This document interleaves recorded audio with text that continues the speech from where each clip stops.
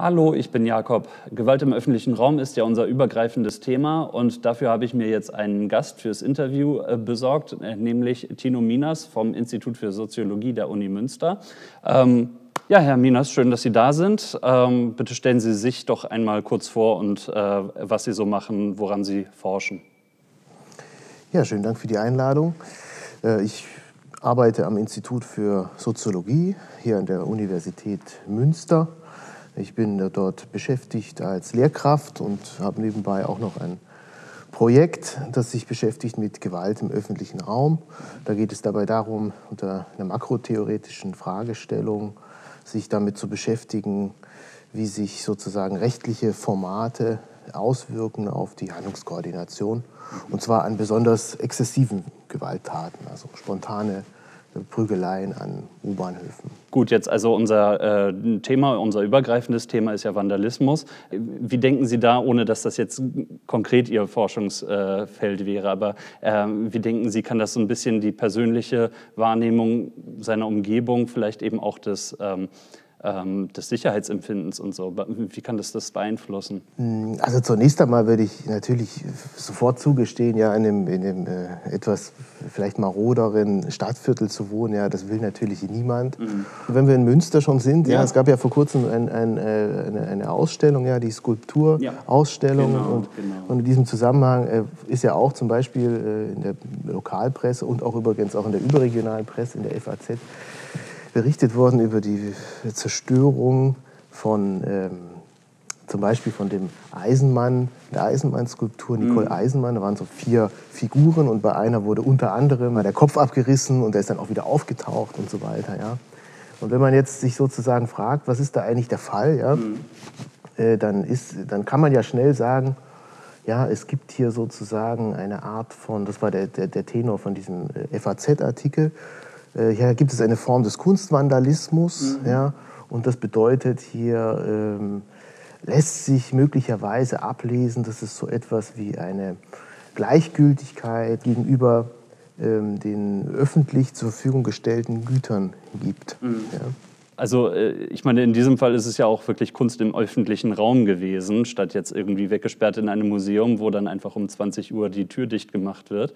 Ähm, trotzdem, also dass es jetzt eben gerade an der Kunst sich entladen hat, äh, die dort im öffentlichen Raum steht, äh, ist dann ja schon einfach was anderes. Würden Sie da irgendwie Selektivität unterstellen, dass dann tatsächlich das so gezielt ausgewählt wird, heute mache ich was äh, Schönes kaputt? Oder? Also diesen, diesen Ton hatte es tatsächlich ja, in der. Berichterstattung. Also mit dem, äh, wieso wurde der Kopf jetzt abgerissen, wieso muss man den Kopf jetzt abreißen? Mhm. Ja?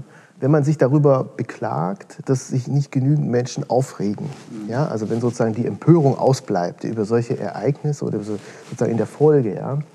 Äh, dann, könnte die, dann könnte das darauf beruhen, dass man äh, die meint, der moralische Zusammenhalt, also die Gesellschaft, verstanden als eine politische Gemeinschaft, hat sozusagen äh, Defizite aufzuweisen. Ja?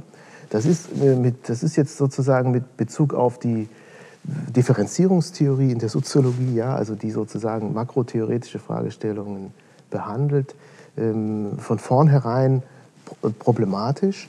Also in dem Moment, in dem man sozusagen ähm, gewährleisten kann, durch einen Artikel, ähm, zum Beispiel dem der, der, wie in der FAZ, eine sprachliche Form zu finden, die, die, ernsthaft behaupten kann, dass sie sozusagen den Fall sachgerecht, äh, professionell bearbeitet, würde quasi, äh, das ist die Perspektive von Parsons, ja, Talcott Parsons, dann würde quasi eine ähm, Solidaritätsform, die der modernen Gesellschaft dem Komplexitätsgrad angemessen ist, abgerufen und dann gibt es eigentlich sozusagen erst einmal keinen keinen Bedarf, sage ich mal, ja, übermäßig zu moralisieren, ja, sondern dann kann diese, können diese Fälle sozusagen eingeordnet werden. Auch die Justiz würde an dieser Stelle ja so eine Art Vorschlag machen, wie man mit diesem Fall umgehen ja. kann, ja. Und die Justiz würde jetzt mit, zum Beispiel mit, mit Bezug auf den Paragraphen im Strafgesetzbuch, äh, das heißt Sachbeschädigung, ja, versuchen, diesen Sachverhalt adäquat aufzubereiten. Ja, wo, wobei, also äh, wenn ich da kurz einhaken kann, äh, wenn es jetzt um die Moral der Gesellschaft geht, dann muss man ja schon anerkennen, dass jetzt ein zerbeulter Mülleimer oder eine beschmierte Wand schon was anderes ist als ein abgerissener Kopf an einem Kunstwerk.